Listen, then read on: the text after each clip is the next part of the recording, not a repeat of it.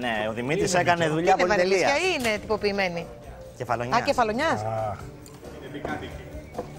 Έτσι. Γι' αυτό μου αρέσει. Δεν μου αρέσουν οι μπουτυράτε.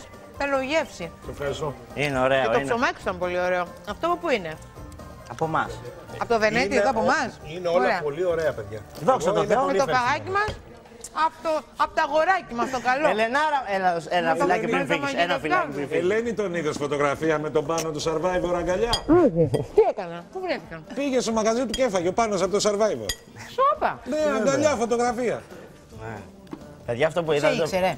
Ναι, από πριν τον ήξερα. Ε, μόνο μας τα πες. Ναι, ναι. Τώρα μας τα τον πες. ήξερα. Παιδιά, πιτσιρίκια από έξω. 70 πιτσιρίκια. Το ξέρω, δεν το πίστευα αυτό το πράγμα. Δηλαδή, αν μου ερχόταν κάποιος και μου έλεγε ότι ήρθε ο τύπος και απ' έξω είχε κόσμο χαμό. Δεν το ξέρω τα πιτσιρίκια. Ναι, τον είδανε. Μάλλον από στόμα σε στόμα θα ανέβαζε, έκανε κανένα check-in. Τώρα εντάξει, τώρα καταλαβαίνεις πώς γίνονται αυτά. Και μαζευτήκε λαός. Για να κάνουμε Λαός. φωτογραφίες μαζί του. Ναι. Ναι, ρε φίλε, δεν το Χαμός. πίστευα. Μπράβο. Ποιος είναι ο Εγώ Μάκη πάω, δεν Τζάξον. πάω, δεν υπάρχει άνθρωπο. Και εσύ γιατί δεν πα ένα survivor, να αλλάξει ζωή σου; Ρε εσύ και πραγματικά τον πω τον είδε. Φιλάμε επίση. μόνο και μόνο για τη δίαιτα αξίζει.